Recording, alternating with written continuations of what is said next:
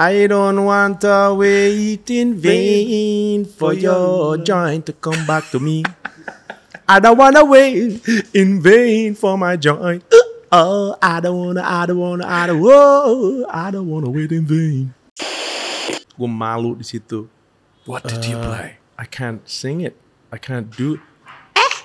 You can't do your own music. You told me you're from Indonesia, but you can't. You cannot. You cannot even do your own music. Why? And here you here you can play African music, but you can't even do your. this, this guy's crazy. And so they're all laughing at me. Everybody always used to say, "Wah bule lo, bule lo, eh bule lo, bule." So I always felt, ya gue ini bule kali ya, kalau di Indonesia jatuhnya. Tapi orang Baduy nggak pernah ngomong gitu.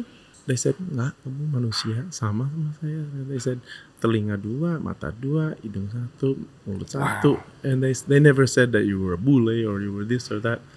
They were, I felt, wow, these guys are so accepting and so they were hmm. so sweet. I wasn't about money. I just wanted to play what I liked. That's it. Hi, welcome to the Friday Podcast. We've invited our guests to our home Selatan gue dulu tinggalnya sih di seberang Oh gitu. Bangka. Bener, ayamnya yang cuil-cuil gitu kan. to share the other side of every story. itu luar biasa banget. dan percaya bahwa rezeki nggak pernah ketukar. Get ready because we talk, you listen. Jimmy Aditya, thank you for being here. Thank you, Uh, thank you. welcome to the Friday podcast. Ladies and gentlemen, this is your host, E.S. Lawrence. Before we begin, Yeah. today's a big deal for me. And I'll tell you why. It's your birthday. No, Happy no, birthday. no, it's not. It's not. uh, the year was 2008. Let me let me go back a little bit. 2008. 2008. Rewind. I was either 11 or 12. Rewind. All right. Are we there yet? Yeah. Okay, we're there. You were Uh, 11 or 12. I was 11 or 12. In what year again? 2008. 2008. 11 and 12. Are you doing your maths now? You're, yeah, you're you're younger than me. Oh, yeah, yeah, yeah. I'm, I am. Thinking you're younger. Yeah. Yeah. So I begged my mother, uh, yeah, my mother, and I said to her, I wanted to watch this concert. It was Akon, Lonely. Uh, it was back then. Um, I said I wanted to watch Akon. You And know, I was upset about Akon. Oh, you go ahead. Go ahead. Okay. Sorry, I, I just why, why were you upset? because my because of Akon, my kids were walking around the walking around the house like little kids, like little three four year olds Yeah. were going. I wanna fuck you, fuck you out on the floor. I Fuck. I was like, fuck this Akon guy, man. But that, that was that was the jam then. Yeah. Um, so I said I, I begged her. She said, "No, you can't go because you're still young. You you can't go." I said, "Okay, what if I go with an adult?" She said, "Yes, okay. My uh, a friend of hers would take me there. I watch think your Akon." mom didn't know about the. Fuck No, she didn't know. She didn't know that. She only knew about the lonely. I'm so lonely shit. So that was okay. Um, exactly.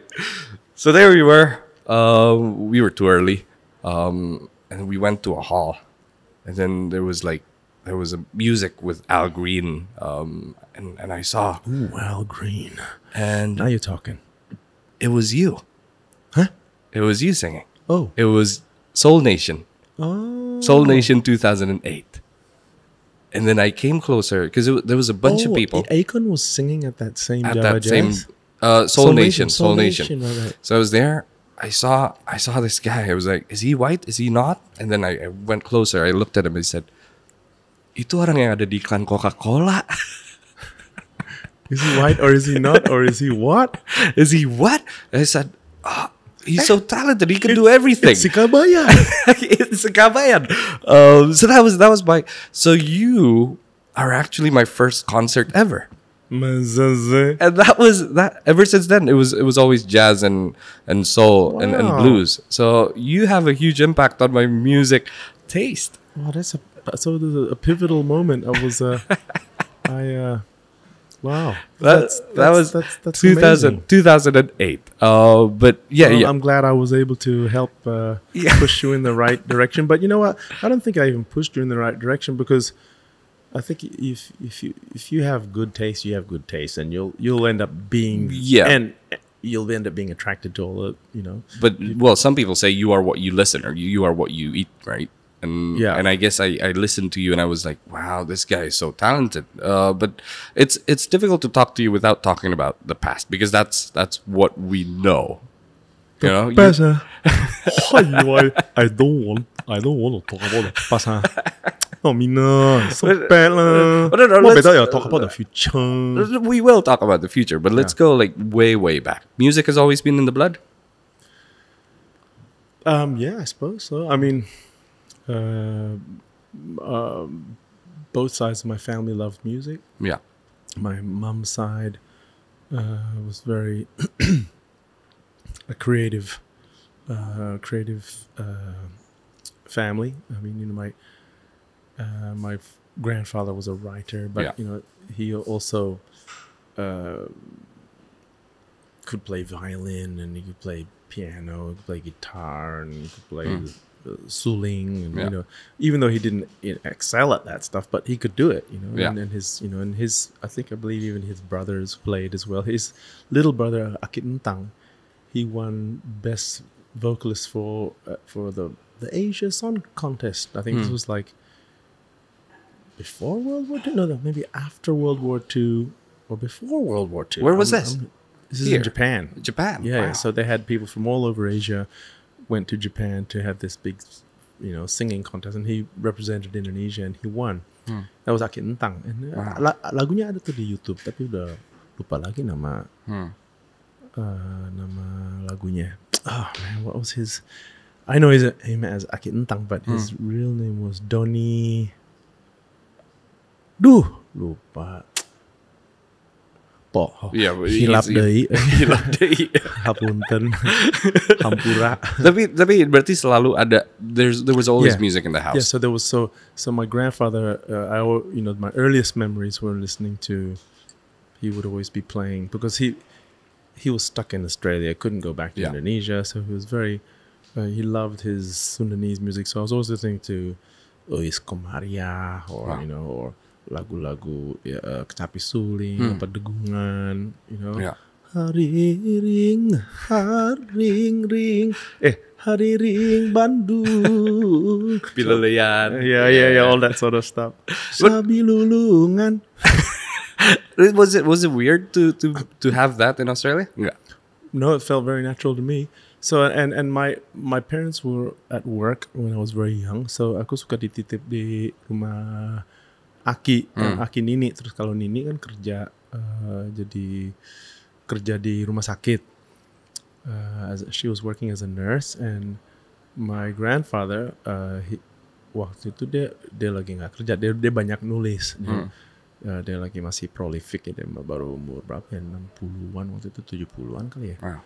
he he died at almost 100 years old Oh, 90, 99 That's really good. yeah yeah Not here. Like, di Australia yeah, with that weather, right? Not yeah, this yeah. weather. he was one of the guys that uh, he got together with a guy called Nyoto Hmm. and they made lekra together Okay. and then but lekra when they made it well, they wanted it to be uh, purely a cultural thing. Uh, because my grandfather used to be in the pen club uh, as a writer Yeah. and he represented you know uh, you know as a writer from Indonesia he w- he went over to to Switzerland or France and then they, Yeah. you know Europe where they would have writers from all around the world would come and you know uh, go to this big meeting the pen Yeah. club and you know Hemingway was there and you know Jean-Paul Sartre and all these Wow. all these all these amazing writers would be there from all around the world and and so Aki knew those guys he'd you know meet them met them uh, you know more than a couple times and he even you know met people like Pablo Neruda you know who who was actually living in Indonesia but he was still too young for at that point but but uh, he he eventually met him in the pen club and Pablo Neruda was I think he was the cultural attaché for Chile in Indonesia in the 40s or the late 30s or 40s So books and music. yeah so anyway i'm I, I, as you know i, I Yeah. waffle on so yeah books and music and Yeah. so and then my grandmother loved Nat King Cole and you know Yeah. this sort of yeah, music Yeah. And then on the other side uh, my grandfather uh, on my uh, my father's side uh, the, there's irish Yeah. and scottish blood so they they like to drink and sing Yeah. Yeah. and so my dad was always singing and the earliest memories was Sundanese music and then when dad's Hmm. side he'd always playing bob dylan Yeah. and early jazz and classical music So so it, it it only felt natural for you to have a band in a young age. uh, I always wanted to have, be in a band, but not Mm. necessarily uh, lead the band. You know, I was so I was always you know I'll just be in the back. You know, and uh, belum belum pede. You know, Yeah. but uh, I, I always knew what I was very particular about what I liked and didn't like, and then. Uh, I think in high you, school, huh? You didn't you do like heavy metal stuff during high school? yeah in high school uh, i think one day my dad came home and he, he bought a guitar Yeah. classical guitar he bought it in Sweden di Singapura Mm. And he says "Eh, okay everybody sekarang nih ada ada gitar nih di rumah Mm. Eh, si- dipersilakan siapa yang mau mau main if anybody wants to you want to play it then dad is happy to pay for lessons Wow. so awal awalnya kita we all took it. Oh wow, cool. Yeah, but so we all took, kind of took lessons. Or me and my sister took lessons. So how many of you? Farabi. How many of you in the house? And Uh, uh, got- I had a, big brother, big sister, and me. okay, so three of you took the guitar and Yeah, that was in Ciputat, you know, and, Yeah. uh, back in the er, the eighties. yeah. And so I used to play this guitar, and then uh, and my sister ended up dropping out of it, and but I I, I continued the Farabi uh, playing classical, and uh, I used to fake it. Oh, you know, my teacher was a guy called Ru- Ruli Budiono. He was a beautiful guy, Yeah. and uh, I, actually need to go and say hello to him because uh, somebody recently gave me his number. Ni, number you. really? I thought- But I haven't said hello. I need to reach out. But uh, um, it- it- I used to listen to the classical uh, tapes, Hmm. and you know we go to Aquarius and buy Yeah, the yeah, yeah. cassettes. You know, oh man, listen to these tapes. Oh, I love this. This is Bach's fugue or Bach, you know, Yeah. Bourrée or whatever it's called, and and I would. Uh, I would uh, he he would put the I say eh, I said uh, Pak Ruli, I only want to learn this one. He said okay yeah yeah and then I could uh, I'll get you the sheet music. So he got me the sheet music and I would just uh, figure it out by the cassette and pretend to read and he never knew I couldn't read. Well, wait, that's talent though. No. I guess so, but you know it's kind of messed up because I wish I re- learned how to read. But that's jazz. Yeah, maybe. Maybe right. Yeah, okay. I mean, improvising and everything. Yeah, uh, I can do a bit of improvising, but I'm I'm a very lazy player, so Yeah. I don't. You know, I used to you know maybe uh, practice guitar about Yeah. six hours a day when you were s- just starting, right? But Yeah. but uh, now I, I I don't practice, and I pick Hmm. up the guitar once every couple months, and I'm really kaku sekarang. Kalau main bar aja masih suka Yeah. kram gitu ya gue. Hmm. Terus uh, yeah, so but uh, I love I love the blues. But Yeah. in, in high school, I, I, to come back to, to meander back to where to what you said that you I was playing metal. Yeah, I used to love Ozzy Osbourne. Yeah. Uh, Black Sabbath and Mm. Iron Maiden and Judas Priest Yeah. and, and then you know when I was in SMP kelas 1 that's when Metallica came out Mm. and uh, that was uh 83 84 or something Wow. you know kill 'em all came Yeah. out Yeah. But so so that so your future was planned. mind. Your future was planned to be. I want to be a musician. Was that? my mind man i was like no way i gotta play music bro i gotta play i gotta rock out man Was that the plan? No. randy rhoads was my hero and and then Yngwie Malmsteen came Hmm. Yeah. out and i was like God damn, this guy's crazy. and uh eddie van halen of course Oh yeah. Yeah yeah. and then because back in those days, uh, you know, you know, we I used to read a magazine called Hit Parade. Can't- That was like no. the heavy metal magazine, Okay. Hit Parade, and Yeah. there was Creem and Yeah. and Kerrang, and so in one of these uh, uh, interviews, Eddie Van Halen was talking about his mom, and he said that he was he was uh, from Indo- my mom was Indonesian, and uh, her family were from uh, where is it? Where are they from again? Rangkas Bitung. Okay. And I thought Rangkas Bitung, Jawa Barat. Sama. Eh, orang Sunda gimana jadi Halen. And so, so then, uh, I, I was really proud of that, you know, Yeah. because growing up in the '80s and the '70s in a school which was predominantly white, just Mm. most of the most of the a, a lot of the students were uh, from the south, and Yeah. a lot of them were very racist. And I, f- I- you know, people they call me half breed, and and they're always like, "You fucking Indians, man, I can't do anything. So fucking dirty, Yeah. man. They don't take showers." Yeah. It's like, was that the stigma? oh, man, it was bad. I thought that was the. I thought it was the other way around. What's that? I thought I thought bules don't take showers. Yeah, exactly. I mean, dude, I, I, I, I- you know, I went to school with these guys, and so, so, I was shocked, you know, because you know, Yeah. kan kita kan cebok, kalau mereka enggak. And then, so when when we were like doing uh, uh, sports, Yeah. they'd all take. They'd all be itching their asses out there in the sun, you know, because you get that shit there, this shit Uh, there, there's kopet. sweat, and then Yeah. kan pasti itu gatal-gatal. Yeah. They're all like itching their ass, and then afterwards, you know, we we all hit the showers. They have skid marks. They call them skid marks. Because it's straight. Yeah, it's just brown stripe. Straight, and and yeah. there's something normal for Yeah. them. I was like, no, this is not normal. No. You guys are disgusting. And then they would throw their skid marks around at each other as Oh, a joke. I'd be like, ah.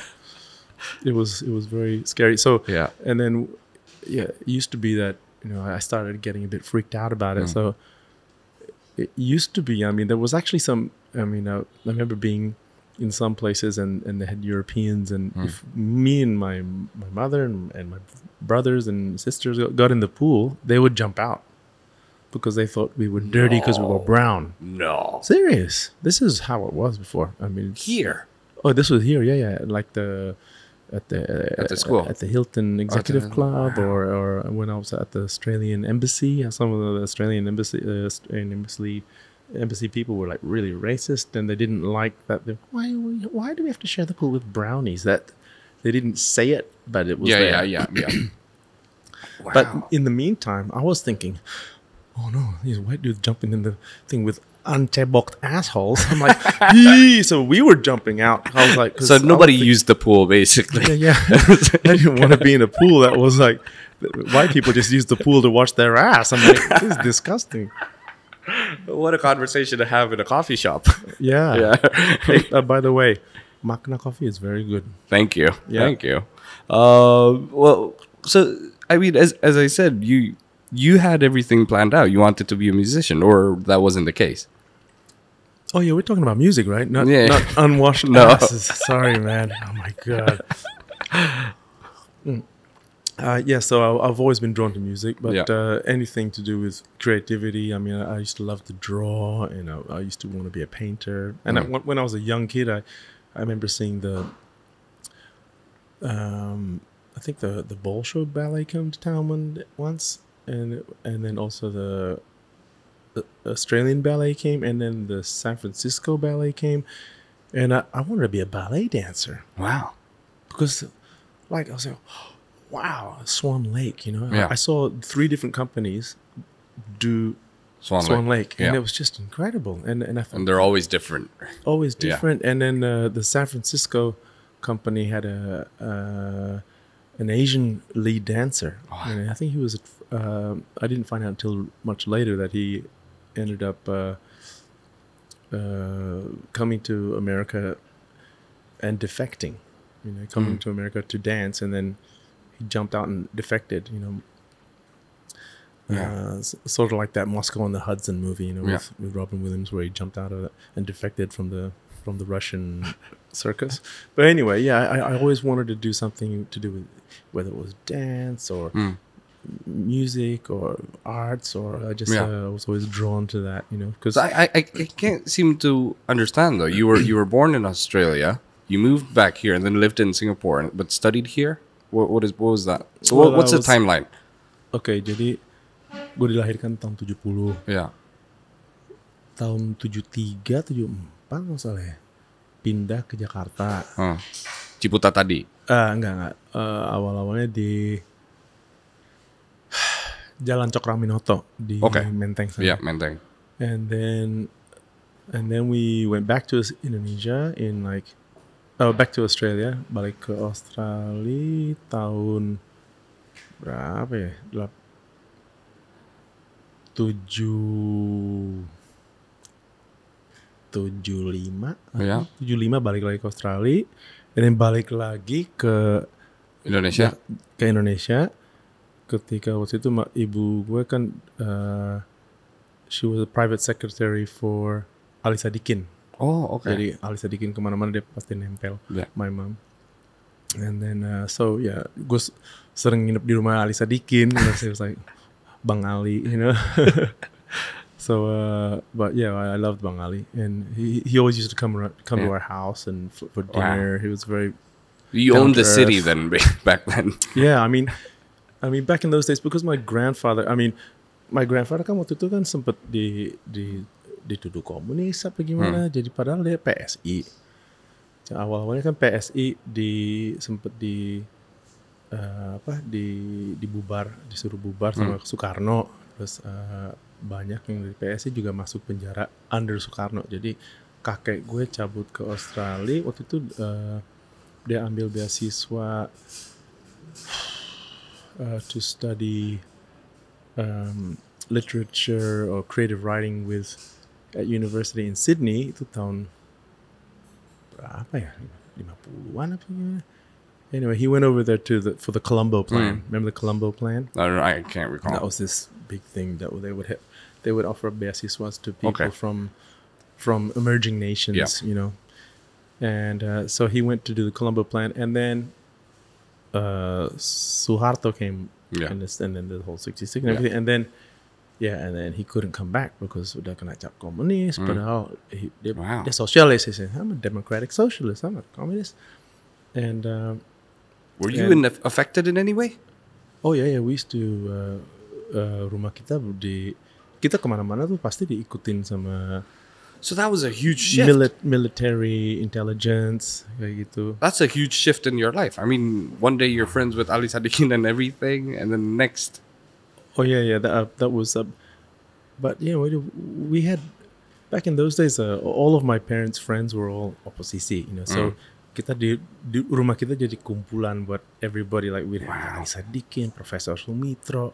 We have uh, you know that was actually Prabowo's dad, and then um, we would have uh, you know all of the people that were at, involved in malari like Rahman Tolleng and Hariman Siregar and all these people used to come and hang out at our at our house and then so I always was very I grew up hearing all of these Yeah, great yeah. conversations and these Yeah. people had had really um, uh, they were so passionate about Indonesia Yeah. and about change and down with Suharto and Yeah. all this stuff and so that and then we used to run an underground newspaper from our house and disebar-sebarin ke universitas and then once we came in and then the fuck we Had, we had the military police came into our house, ransacked the place, and before they came in, my dad was like, "Oh, oh shit!" oh," You know, he, he took all of these papers from underneath the beds and put them, in these- and burnt them. And, and I remember being a kid, I was like, "Daddy, why are you stirring the ashes?"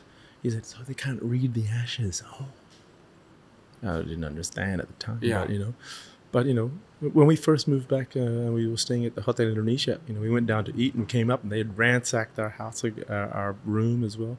But we were always like being followed by military. Did you know what was going and- on and everything? I was only like four or five or six Yeah. or something. But I remember, you know, some people would come to the house and mereka juga keluarin beceng juga Yeah, because they were worried that maybe they have to have a shootout with yeah. to save Whoever, themselves. Yeah, yeah. And my dad almost got killed once on a, on his riding his Vespa to Bandung. They tried to run him down, and he went down these little lanes. And but um, yeah, but but when when my my grandfather wasn't allowed to come back until 78. 78 kan eh, tapal-tapal di, dibebaskan. Maksudnya termasuk eh, Permudian Antatue, uh, Tuer, uh, and so when my grandfather came back, uh, he wanted to meet all of his old friends. So we went to we went to meet his friend that was still in jail, belum dikeluarin, uh, Hendra Gunawan, pelukis. pelukis. We went in there, and when we went to go see Hendra, uh, Aki Hendra, uh, he was kebetulan banget. He was karena udah saking lama dia nggak ketemu teman-teman lama. He was drawing pictures of his friends yang yang sudah bertahun-tahun nggak ketemu. Wow. Eh, From memory. and he was drawing my grandfather when we walked in. there. The exact same time. Yeah, yeah. And he went, "Ah," and then they both started crying and started hugging each other. But uh, yeah, What would you say your childhood was? Was it fun? Was it crazy? Was it? well, it was it was awesome because we we just had. I mean, we we used to have dinner. Like for instance, one, uh, and then when also um, mm, when Pramudia Nantatur came out of came home. When he came home, we were there at his house because my grandfather wanted to say this? hello. So, and because my grandfather, when we went to go see uh, uh, Aki Pram, You're saying Pramoedya Ananta Toer like like Aki Pram. That's just like I can't imagine that. yeah, but Pram was upset with my grandfather. Why? And uh, Aki gave him two hundred dollars, Who which gave was who? a lot of money. Who gave who? My grandfather Give gave give Pram. gave Pram money because he came out broke. Hmm. And he said, Well, they took he everything says, from "Ni, uh, Pram, buat lo ni. you know. And, and Pram said, gua gak mau nih duit bourgeois duit bourgeois lo, gua gak mau. Se- Seharusnya uh, lu lari ke Australia. Seharusnya lu masuk sama kita. Kalau lu believe that you're innocent, you believe in change, you believe in everything. Why didn't you take a stand with us? Kenapa lu lari ke Australia? And so Wow. so he he threw the money on the ground. I was, you know, my grandfather was like, "Oh ya udah." Yeah. da, da, da, da, da, da." And so we were walking away from his place, and I thought, "Ini duitnya masih di on the ground." Nobody, everyone was too proud to pick it up. Ya udah, gue gue ambil. I I gave it to my grandfather. He was like, he said, "Terima kasih." Yes, thank you, Jimmy. He put it back in his pocket, you know. But then we, we tried to make everything okay, and then we had a big dinner Yeah. and we invited Pram and siapa? Everything was good again. Aki Mochtar, Mochtar Lubis Mochtar was Lubis, there. Uh, Ali Sadikin came, and then we all had this big dinner. Everything was going fine, beautiful, and then they started talking politics again, and Yeah. then Aki Pram marah-marah lagi, Oh wow. marah-marah lagi, and then he says, "Ya ini rumah bourgeois dengan minum wine bourgeois, bla bla bla segala macam." Dia bilang bourgeois, and he he left. Wow. He stormed out. I well, I only hear stories of Pramoedya Ananta Toer. I can't imagine his anger and everything. Yeah, yeah. But I mean, as a kid living in those in that world, Yeah. um, I mean, it, why didn't you jump into politics then? Uh, Or was that part of the plan? Didn't work out? Nah, that's not me. I'm not. I'm not eloquent enough to sort of Yeah. be in that world. You have to. But be you- able to so you're you're al- mind. you're always used to moving from one place to to another. Yeah. Uh, gue, nah, jadi gue pindahan terus. Jadi we went from. Oh yeah, then we went back to Australia in what was it in eighty whatever. Came back again to Jakarta, and then we moved to Ciputat from Radio Dalam Cip, uh, Pasar Minggu, Pasar Minggu Ciputat, and then Ciputat, Pondok Indah, and then back. Wow. So uh, I think my dad lost his job at the time in '85 or something. So all of a sudden we we couldn't afford the international school, and uh, at that point, you know, okay, time to go back to Australia, guys. So we went back to Australia, and then my parents came back to Indonesia Left you there. and left me and my brother and sister there. Yeah, yeah. So Okay. umur 16, 17, I was already living alone with my brother, Wow. which was interesting. Just smoked a lot of dope. I think, I, you know what? Melbourne was my second weed, oh yeah. and I couldn't, I couldn't deal with it. So I was like, this is something that I've never had before, you know, because like you wouldn't have something as strong as that ever, because it was the, it was Oh, yeah, yeah, basically yeah, like the first time, and and I can only imagine you with your brother, no parents at that point, you know, Oh, man. crazy things happening. Yeah, uh, my my brother, you know, we, we someone taught us how to make a bong out of a Galliano bottle. So you So buy you the, you the cut it? diamond drill, Yeah. and then you just work at it until you find. And then you push it. sampai nembus, Yeah. and then you put the pipa in it, and then you make you, you get it bigger, and then and once we- once we made one, everyone was like, "Wah, asik banget nih bong dari mana nih?" So you know, they're like, "Ah, kita bikin, oh, bikinin dong buat gue." Akhirnya we became Business. like a pabrik bong. we were like making bongs for everybody. Uh, so when did you decide that okay, I'm I'm gonna go on my own now back to Jakarta? Oh, Was that early 2000s? so when I when I uh, was in Sydney, 1989, 1990, I, I moved to Sydney, and gue main sama band-band reggae, sama waktu itu band reggae, uh, pemain drumnya orang Jamaica si Jabi Jabaya, terus the rest of the band orang tim-tim, Uh, mereka anak-anak Fretilin, jadi kalau ada party-party Fretilin yang buat uh, fundraising for Fretlin. We would always play at all the Fretlin gigs. Nah di situ gue jadi ke- kenalan sama semua anak-anak uh, anak-anak apa ya? Like um, uh, what do you call it? Uh, uh, activists you know and you know and, and and jadi we met a lot of activists and and a lot of the activists and akhirnya jadi orang PRD ini gue ketemu Budiman Yeah. Sujatmiko ya namanya saya lupa Yeah, yeah. lagi nih Budiman Sujatmiko. Iya iya iya and uh, Mukhtar Pakpahan and all these sort of people you ended up meeting and Yeah.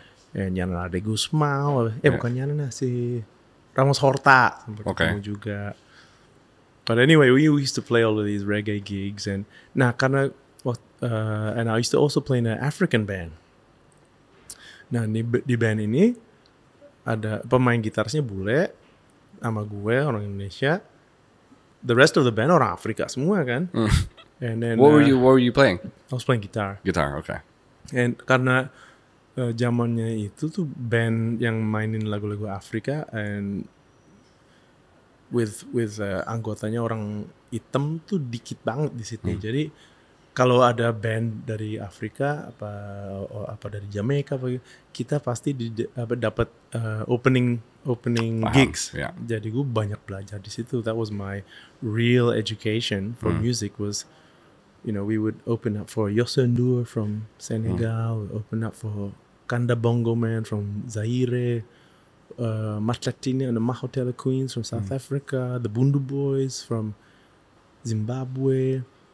Uh, who else? Uh, we we toured like we, we we played like three or four cities with the Wailers, and that was the original band of Bob Marley. Wow. Sekarang kan uh, Ya, ya, ya, udah ya. nggak original lagi. Bob Marley and the Wailers Iya, ini kan? original Wow. semua kecuali drummernya Carlton Barrett udah mati waktu kena tembak dan um, of course Bob Marley juga udah nggak ada tapi Yeah. the original You guys played with the Wailers. yeah yeah yeah we we, I- we we played opening up for the Wailers Yeah. and then kita tour itu naik bus naik With bus them? bareng sama the Wailers so I'll be sitting next to Family Man Barrett or and uh, the guy that introduced Bob Marley to Rastafarianism uh, his name was uh, Seeco, Alvin Patterson Seeco. He was the percussionist, but He he was, was also there. the spiritual leader of the group. And he's the one that turned them onto Rastafarianism. He stayed at my house, man. He cooked food for us. And, you know, this is when I was gue baru umur 20. Did Did you show him your bongs? no, no, no. no, no. He showed you his bongs. oh, we, we smoked big old fat doobies because uh, my landlady was bandar.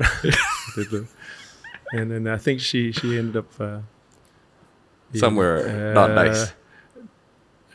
Yeah, I don't want to Yeah. talk about it No, no, anyway. let's not talk about it. But anyway, so you, what, how did you? When did you decide to go back to Jakarta? I remember being on the bus and thinking, "Oh my God, I'm, this is like Babylon by bus." You know that, you know Babylon by bus. You know that, that It's a- it's a- album, yeah, the yeah, live yeah, yeah. album. Yeah. I was like, "This is Babylon by bus." We're on the bus sitting with the Wailers. Yeah. And then you know, I'd be rolling these big spliffs, and uh, I'd pass them. Everybody in the band would always pass it back, but next to me, Family Man Barrett, the bassist, you hand it to him, he never hands it back. no, he's gonna finish that shit. Yeah, I'm like.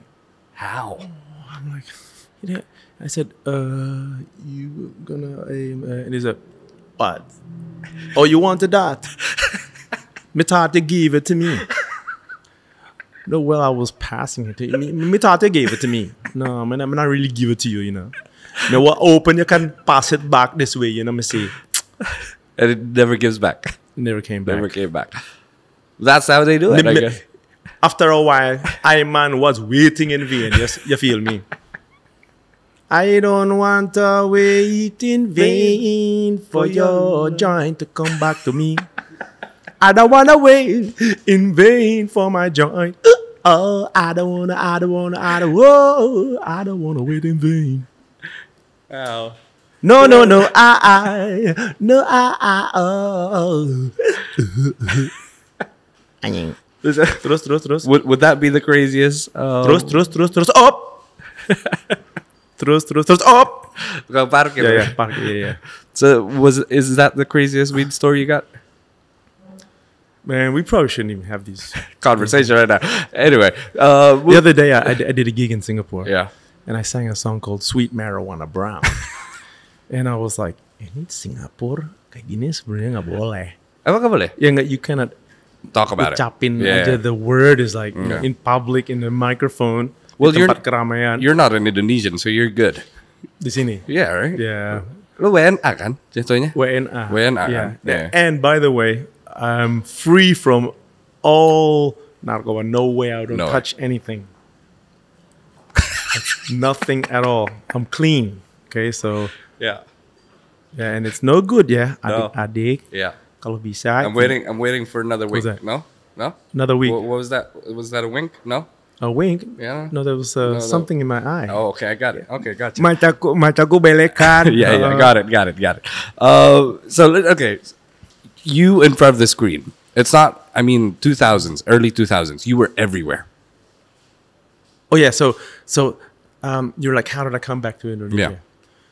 When I was playing in all those African bands, we had guys from uh, Nigeria, Igbo guys. You know, uh, the guy guy's name was he was Igbo, and he would play his music. We have these big parties. He would play Nigerian music, hmm. and then the guy from Ghana would play Ghanaian music. You know, the South Africans would be playing their traditional hmm. Hupumumboti. You know, they'd be doing all of that South hmm. African stuff.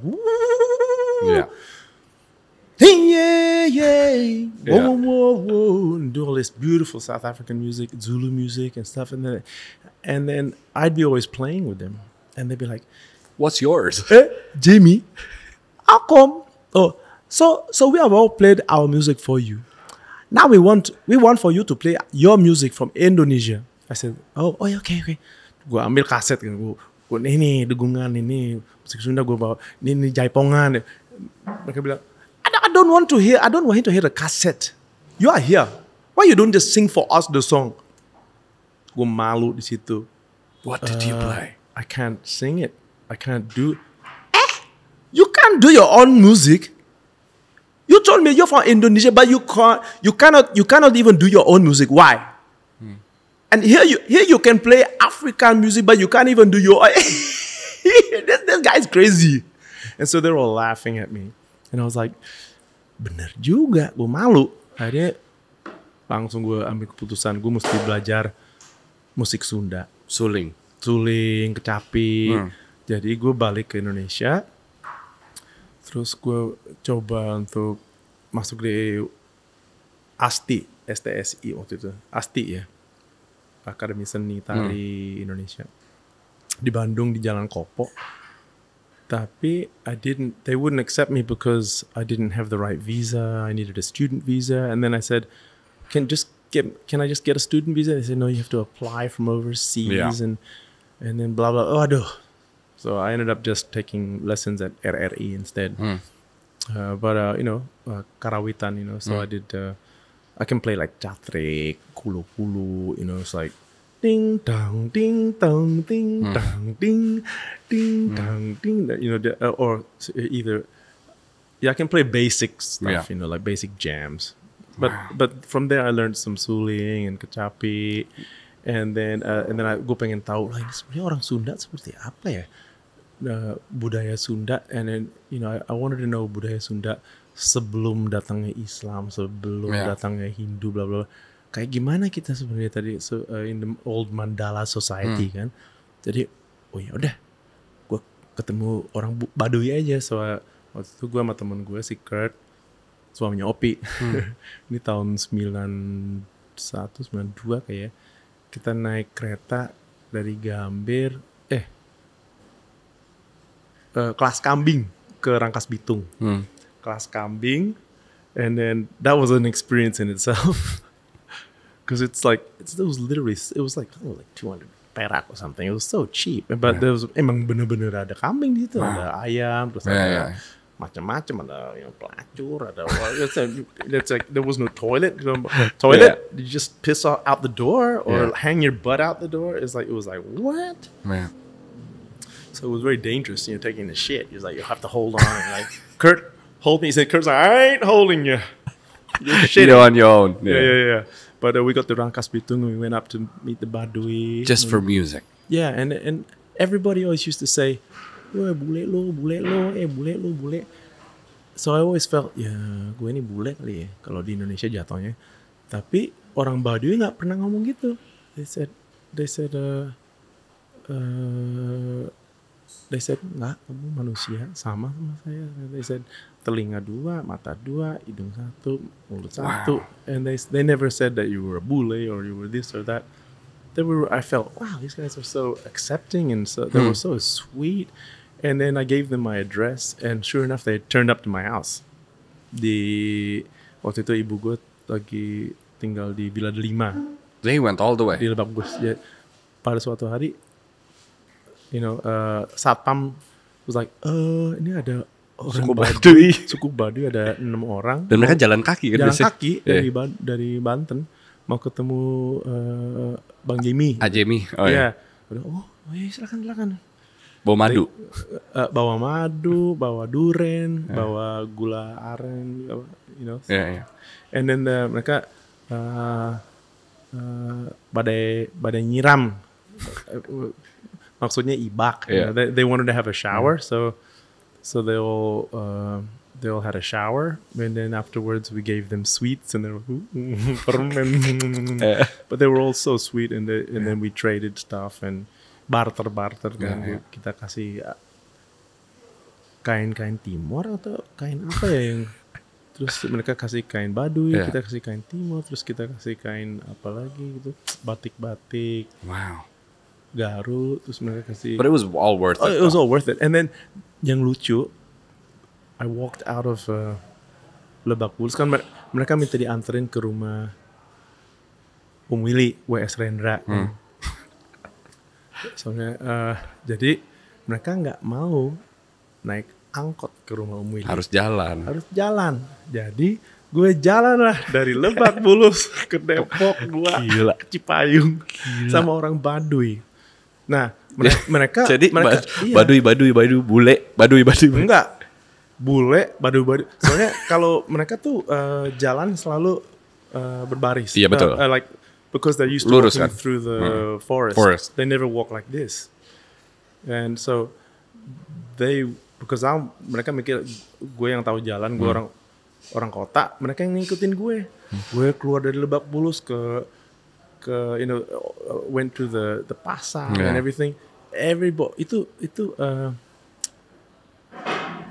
kayak preman-preman setempat gitu mereka pikir gue ada ilmu Wih, ini bule nih. soalnya gue rambutnya segini gue Iya, juga iya. pakai pakai cincin yang gede-gede tuh iya. ya Terus mereka pikir wih dia punya ilmu apa nih Iya. sampai di Diikutin baduy. diikutin baduy When, yeah. When when did the cameras start coming in?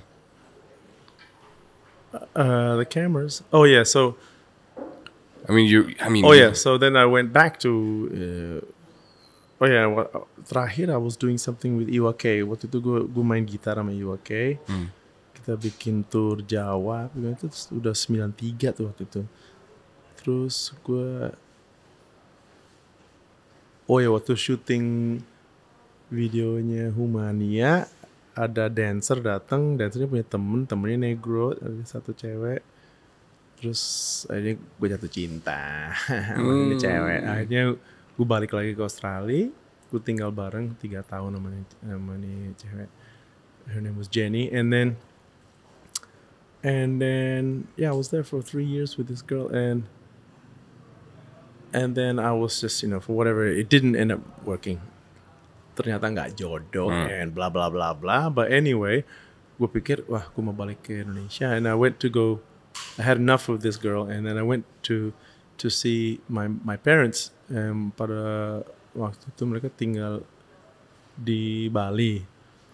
And then when I got to Indonesia I saw oh sekarang ada MTV ada di TV kan MTV dulu nggak ada. Pas 90 kan belum ada 91 oh sekarang ada MTV oke oke. Terus gue ngeliat tuh ada Nadihu Tegalung lagi bawain acara. Terus dia bawa dia, dia bawain acara dengan bahasa Indonesia juga terus gue bilang tapi bahasa Indonesia kok gitu ya sedikit kayak sedikit Boleh, boleh. belepotan Iya, gitu iya. Kayak- terus gue pikir wah bahasa Indonesia gue juga walaupun gue juga ya I'm not, I don't speak that good Indonesian either but I thought yeah I can speak better than her and then gue juga musician gue kenal banyak musician di Indonesia gue mau Saung Jabo mau Iwan Fals I mean I know them all personally I you know, met them and you know I played with Iwa K I played with Krakatau I, I just, I just know people you know. And I thought you know gue bagian juga dari scene musik Indonesia. Terus gue bisa bahasa Indonesia gue bisa bahasa Inggris. Apa mungkin gue bisa kerja di MTV kali? Ah coba aja. Coba And aja tuh I- apa? I- I- Apply. I, thought maybe I'll do it. And then so Apply. uh, gue nggak apply. Jadi that after that uh, you know by the way I said I didn't want to speak about MTV and I know. here we are. And uh, and then I I, I saw uh, ada ada poster. It said pesta pelajar di uh, Universitas Udayana di Ba- di Bali. And I thought oh pesta pelajar eh, diliputin oleh MTV ya bakalan ada special guest Nadine Tegalung. Gue bilang Oh. wah mesti datang nih gue datang ke sana sama temen gue si Anggara datang ke sana terus mau coba masuk ke belakang panggung gimana caranya mau ketemu si Nadia nih wah Tujuannya apa? security ya mau minta kerjaan Oh iya. iya.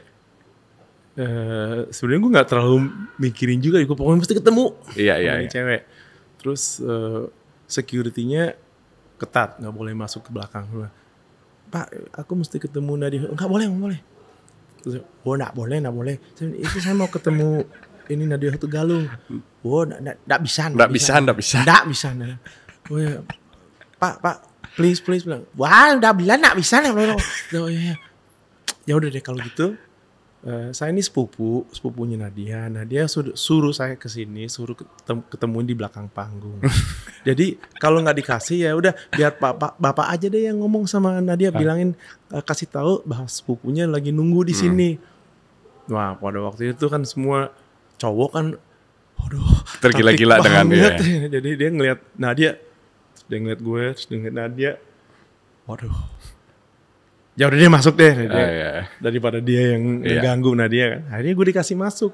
I just went straight on stage and I said, dia lagi lagi sound check apa gimana. Said, hi, my name is Jamie. You're Nadia, right? She's like, yes, I'm Nadia. Who are you? And I'm like, I'm Jamie.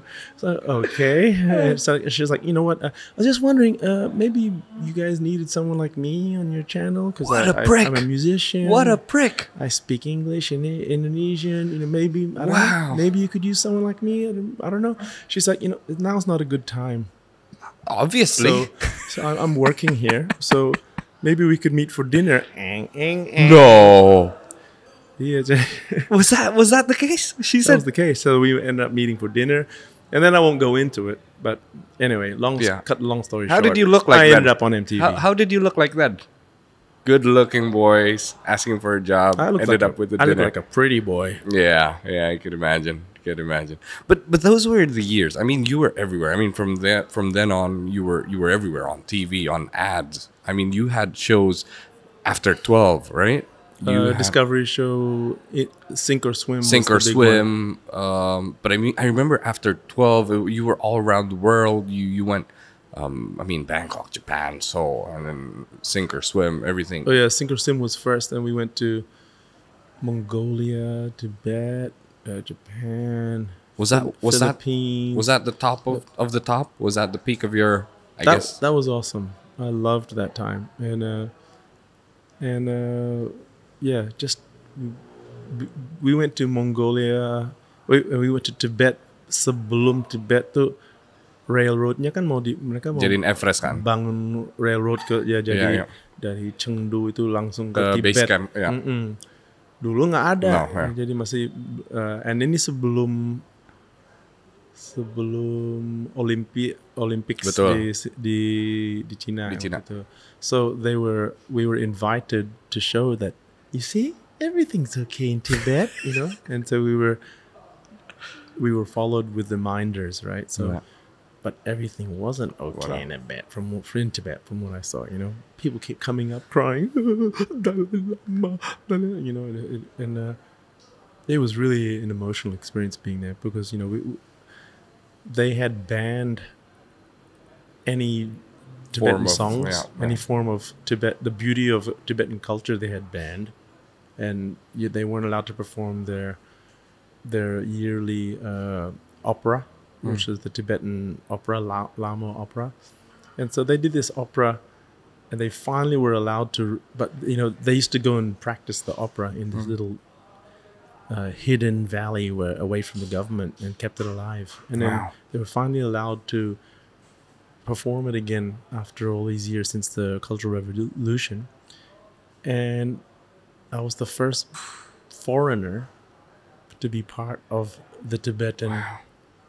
to see it live or To be part of it. To I- be a part of I it. I played a part. I did the dance, and then Wow. I, I had two weeks to learn In- the in the show? In the show, in the Potala Palace, and it was an amazing experience. And I just broke down crying because in my head, uh, I knew that where we were performing was where they massacred yeah, yeah, yeah. hundreds of monks. Yeah. And uh, we were looking at the window, and in the window there was a candle, and that was representing the Dalai One- Lama. And you know they they had the wind was blowing it, and I was just, I just did the whole dance, and I was looking up at the, the window with the candle blowing in the wind, and in this place where all the monks were massacred, and all these beautiful people. They were so beautiful and sweet and loving and kind, and I just burst out crying. What And an experience, couldn't though. stop crying. But, but that was far away from music, no? Um, I mean, that's still culture. You're still into the dance, but I mean, that's you in that era. I don't think you were doing a lot about. You were doing lots of instruments or playing. Yeah, I mean, I was always writing music. Hmm. I mean, uh, I never stopped. I mean, in, in fact, the the album that I, you know, that I, I made that LMMP, MMP. album. Yeah. When I was at MTV, all those songs were already written. Okay, Yeah. so it was then- always in the blood anyway. Yeah, I only recorded them in 2004 or something. Yeah, yeah. And then I never put it out. And then my friend said, because I just made a demo. Hmm. And my friend said, loh ini kok lagunya nggak di, udah dikeluarin aja Jim.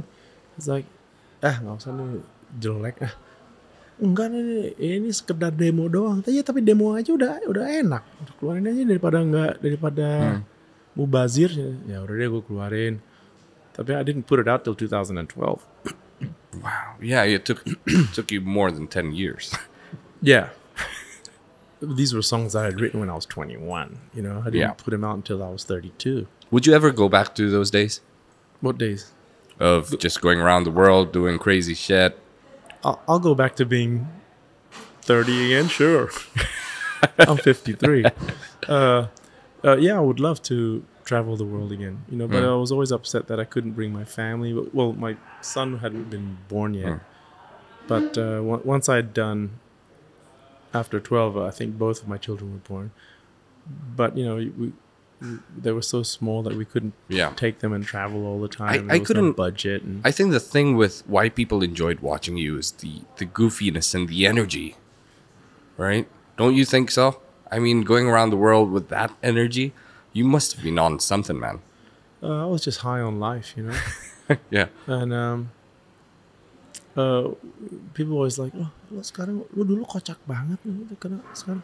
Well, I was kind of like, I was uh, when you're younger, you have a different energy, and you know, I'm, I'm I don't have the energy to be the funny guy anymore.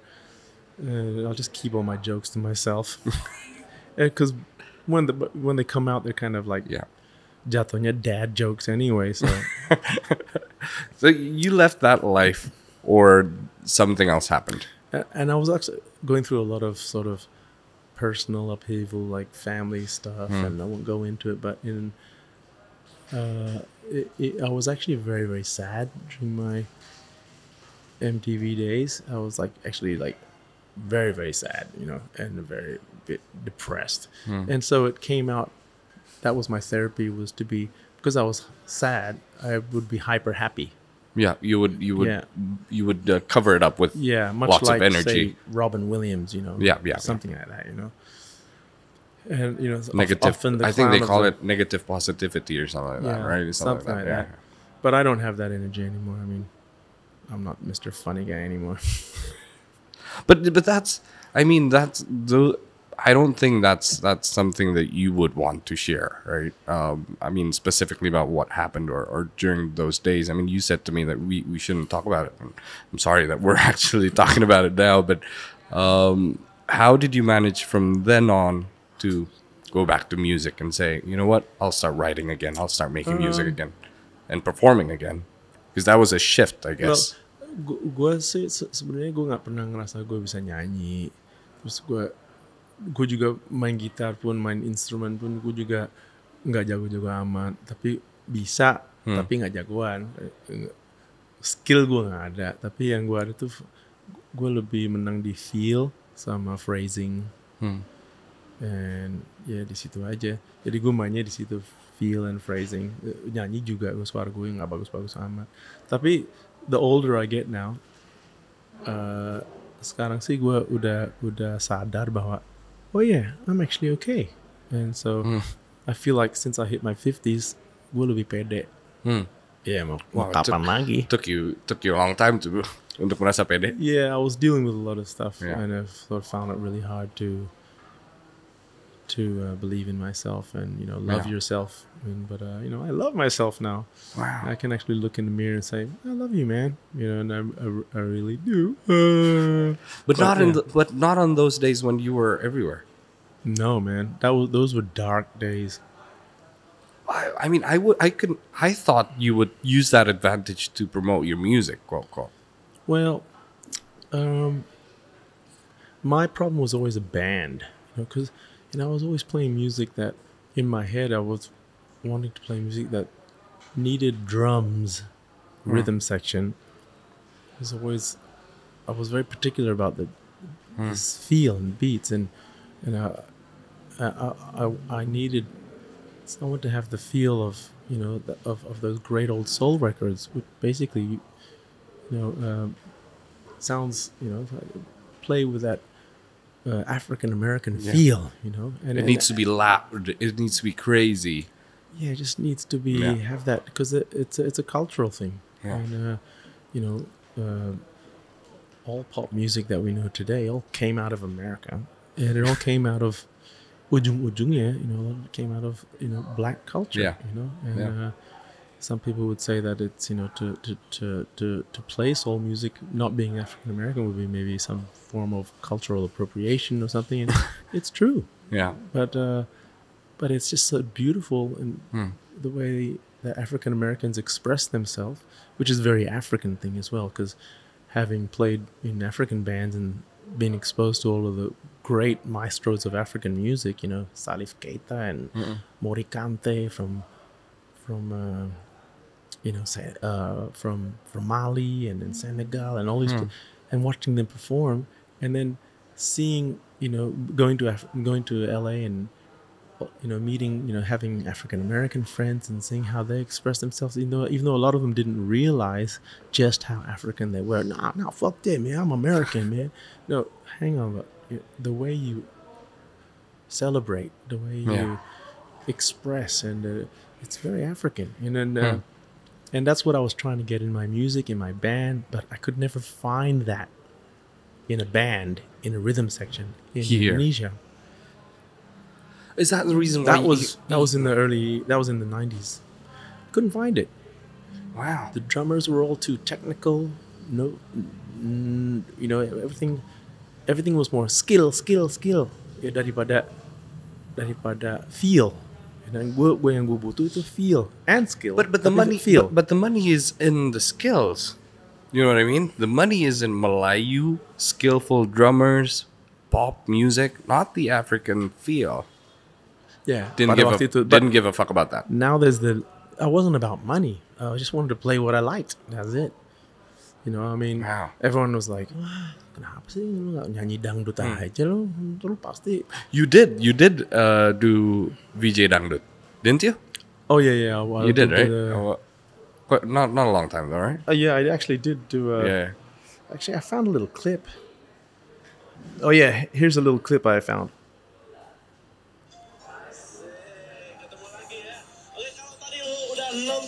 Clips yang asik-asik. This is it. This is it. Quiz, oke, quiz pertanyaan. Nah, kalau lo kepengen menangin hadiah asik dari warung Dangdut MTV, jawab ya pertanyaan ini, oke? Pertanyaannya, siapa artis dangdut favorit kamu? Hah, gampang kan? Oke, kirim cepetan jawaban kamu ke PO Box 1373 JKS 12130. Oke, gue pamit dulu. Tapi sebelumnya ini ada lagu dari Lilis Karlina dengan Siapa Kau dan eh, ngapain kamu ketok-ketok pintu lagi? Malam-malam lagi. Asik. Oke, sekali lagi salam dangdut. Asik. Sedikit nyentrik asoy. Sedikit cantik asoy. Cihuy. Nobody wanted to take that job ya. Oh, no one wanted to do it. So awal-awalnya kan Radio ah, Tagalog nih bisa. kita mesti uh, bikin dangdut. Ah, nggak mau ah. Norak. So like everybody said nggak mau. Teh Sarah? Takut takut di takut dibilangin kampungan. Ah. Takut nih eh nggak mau norak nggak mau ah. I said dengan bangga I'll do it. You know, I love it. You know, so so I did the MTV dangdut. I had this conversation with uh, Bang Haji last week. Bang Haji Roma. Roma Irama. Oh ya? Kenapa dangdut menjadi uh, stigma enggak penolakan ataupun rakyat lagu rakyat gitu. It was it was an interesting conversation, but uh, very difficult to talk to anyway. That was a different story. Um, but yeah, I, as I said early early in the podcast, um, we talked about the past, um, which which we basically know because you're everywhere. Then um, in the interviews we got we got from YouTube and everything. Um, but but let's talk about today. I mean, we barely know what you've been up to. Um, I mean, you're not on Instagram most of the time. Um, you're not promoting here and there. Um, we know you're gonna be in um, Synchronize. We know you're gonna be in a festival. Cuman, what about what what's going on with your life, man, lately? Um, well, lately, lately I've been writing you a music. That's good. No, No, hoping to put out some in not too long in the future. No, but uh, yeah, I- I've been, I've been, I got a few, a few new songs and, and some old songs which I haven't put out yet, and I just, uh, I've been, I've been doing a lot of jazz music simply because uh, you know I had a good friend of mine. Uh, dulu ibunya was the music teacher at JIS, and, and he was a very talented guy. I knew from straight away. I met him. You know, we used to live together in Ciputat, like in the same complex. And then we through Facebook, I, I, I- met up with him again. His name's Kelly, um, Kellen Thomas. Your And, coffee. uh, Waduh, makasih ya. And then he, uh, uh, we met up on Facebook, and I, I happened to be in LA, and I said, "Look, I'm coming to LA," and he says, "Oh man, I'm in Arizona." I was like, uh, "We'll come see you, me and my mom," and because so they came out and visited me because it's only a six-hour drive or something. And we met up, and I said, "I said, what are you doing now?" He says, oh, "I'm a professor of jazz studies." wow. at Arizona State University. I was like, oh wow, oh man, what a pity. I, I would have loved to if we could have done some sort of collaboration music wise. And he said, uh, and I and I said, but that's never going to happen because you're jazz and I can handle blues, but I, you know, there's no way I can sing jazz. And he says, and don't don't don't be like that. I know you. You you're talented. You know, we grew up together. And and I've heard you sing blues, and When was this? he when said, was this? he said, if you can sing blues, you can sing jazz. That's Yeah. 2012, I think that was. Okay. And then he said, so he said, one of these days, come back and we'll make an album. So I came back in 2015. And he says, okay, come out to Arizona and we'll make an album. So I went out to Arizona. We picked some songs and we didn't even rehearse the band. And he said, I said, what about the band? He said, don't worry, I've got the best players. Okay, these are my brightest students. You know, the trumpet player was only 16, and then the, the drummer was 16 as well. But they played their asses off, and we we we uh, he he stayed up all night, uh, writing all of this the music out, and then the next day we went into the studio, and by three o'clock that day we had an album. And and the guys just came in and played it first take, first take, first take, first take, and every song was just like wow, amazing, and so and I thought, "Oh my god, I, I can't sing jazz." And but he says, "Oh yeah, you can sing jazz because you can sing blues, hmm. and because you're really, you know, you're a blues guy." And so I approached jazz from the blues, which is you know, uh, blues is more about feeling, more about phrasing hmm. and, and and and storytelling, and so that's where that's what I focus on. You know, I, I can't do the all that crazy hmm. stuff, but I can tell a story when I perform, and Yeah. I can I can mess with the the I can I can deliver my delivery is enough to catch your attention, hmm. tell you the story, and uh, and then I can mess with the phrasing enough to sort of you know to, to keep you there. You know, So you've been with jazz for the past what? yeah, I've just really enjoyed playing Yeah. jazz for since 2015. Wow. But uh, aside from that, I mean, I I knew during the pandemic you were in Australia. Um, now you're back here, but you're Yeah. not here for good, or are you in Singapore? We Um, I'm back and forth, back and forth. I mean, um, you can't keep me away from Indonesia because it just feels, you know, it's it's home, and mm. you know, I've been all around the world. Mm. I know, you know, this nggak ada orang kayak orang Indonesia, and we don't even have to go, you know. Even if you go to Malaysia, I mean, bisa Yeah. dibilang, iya mereka orang Melayu, eh, tapi lain lah. keramahan kita, you know, like we're just so murah senyum and e- even though sometimes senyum di depan tusuk di belakang, but at least we get that senyum in the front, you know, Yeah. and that sometimes that's all it, that's all you need to make Yeah. yourself feel better and make the day go and it's it's actually very uplifting and it's Yeah. I think uh, we're pretty amazing people Indonesians is like like uh, warts and all. We're Well- uh, we're uh, it's unique in the world. your your family did a good job in training you to know about Indonesia when you were in when you were in Australia. How are you training your boys about this country in Australia?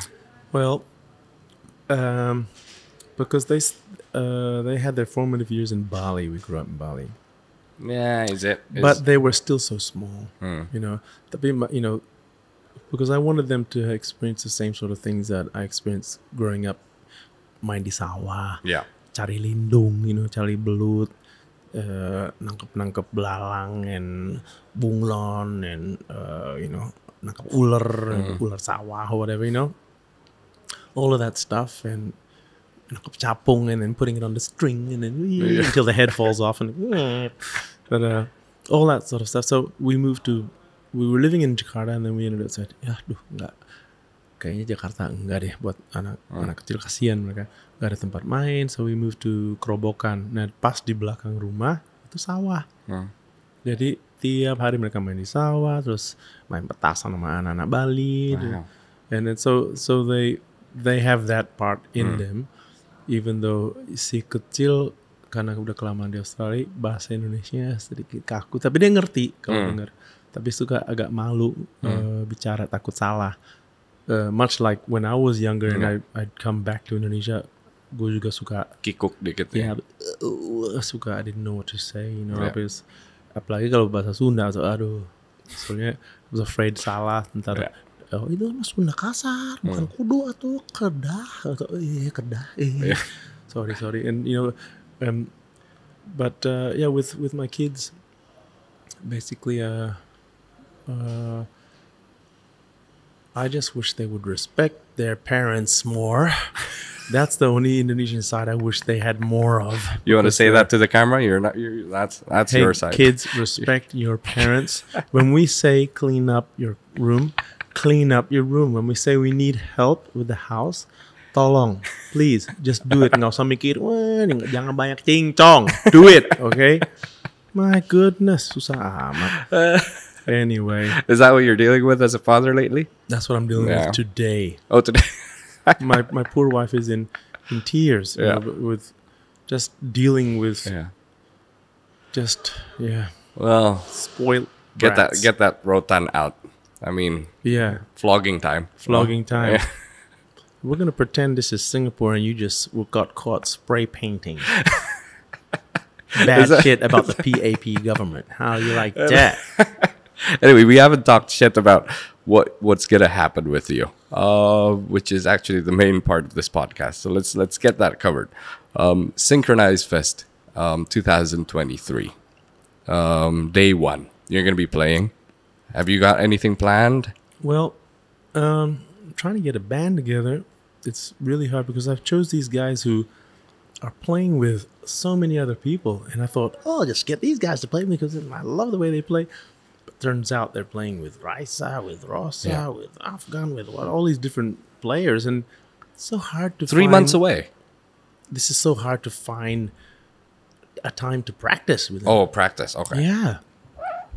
So, um, but uh, I think on the 15th, we've got a workshop. Mm-hmm. And then hopefully on the 22nd, and then we'll hit the stage. Anything big planned? I'd, mu- I'd much rather prefer to have, you know, latihannya satu minggu penuh tiap hari, tapi ya Yeah. susah. Uh, dengan jadwal masing-masing player yang uh, yang begitu padat dengan artis-artis lain. Yeah. Jadi I'll, I'll take what I can get, but you know, uh, basically gue bawain lagu-lagu original gue dari album LMNOP yang keluar 2012, uh, and also maybe some songs from the some other songs from another, Okay. uh, you know, other demos that I made, you know, because I, I, I, even though I put them out over here, you know, they weren't supposed to be albums; they're supposed to be demos. But you know, I ended up putting them out. You know, But yeah. So any, the only album that I have done is the jazz one, the Trad and Soul. okay, yeah, Yeah, that's an album. The other ones are demos, Uh, demos. which I ended up I as an album. Yeah. Okay. When are we gonna have a blues album for the first time? Then Wow. Nah. is that happening? Is that There's not so happening? many amazing blues players in Indonesia. Uh, you know that I would love to do a blues album. Um, uh, you know, I've got uh, uh, uh, I've got my buddy Rama Satre is an amazing electric blues player. Hmm. yeah. I've got, uh, and then this, and if you want to do country blues, I got my buddy Dicky Setiawan. Yeah. he's an incredible player as well, like in, the in the finger style uh, blues uh, and and slide. And for slide, I've got my buddy Stanley Bakhtian, incredible player. And uh, I think on the 23rd, I'm going to be playing in Ijen in Ijen, Ijen, Jazz uh, yeah, yeah. Festival. And I'll be singing a few songs with Gugun. Wow. And, you know, there's another guy who's just you know, there's so many Yeah. beautiful players in Indonesia. When's And, uh, yours? And and then and so I would would love to do something with Yeah. all of these cats involved. Wow, that's amazing. Well, we can't wait. Um, and and I think last last but not least, um, thank you for doing this. Um, also thank you for that first concert. Anything else you want to add? I would l- love to be sponsored by Vox Amplifiers if you're listening. You got Vox amplifiers anyway. You bought them anyway, right? I have, but I ended up having to sell them. Lagi butuh duit at one stage, and I sold my Vox amplifiers. Did so- you? Yeah, yeah. And I'm think I'm thinking, duh, I would like to have a Vox amplifier. Soalnya berapa kali gue mau manggung, Uh, gue udah minta Vox. Oh, nggak ada Vox bang, adanya ini, eh, JCM Marshall, or you know, uh, uh, Roland Jazz Chorus, and Yeah. I can't use those amps. And I'm if the tone's not there, yeah. I'm wah nggak jadi deh main gitar. So how many times I've been mau manggung nggak jadi main gitar Okay. karena amplinya nggak dapet yang Vox. So listen to that Vox, yeah. Iya, so kalau misalnya ada Vox, gue pasti main, Jack. Soalnya tonnya itu loh, Jack. Oh, JB, thank you for doing this. Syami, Syami atau Syawang Sulna. Atur nuhun kalau gitu dapat saya Yes Lawrence, And my name's Jamie Aditya. and I'll see you guys next week. Bye bye. Day. See you at Synchronize. Oh yeah, see you, first. see you, see you guys on Synchronize. Uh, day one. What time? Eh. Have you got Have you got a time? Eh, ngeliatnya ke mana? Kaditu. Ah. Oh, kadi, eh, Kaditu kadia. ah, So kadia eh, tuh. Synchronize tanggal hiji di mana? Dinten Di naon namina? G Expo. Expo. Expo Kemayoran. Ta. We'll see you there. See ya. Okay. Thank you, JB. Bye bye. Bye bye. Oh yeah, and I used to always never sing Shine On. Okay. Because I thought, ah, it's so soppy, so. Ju-.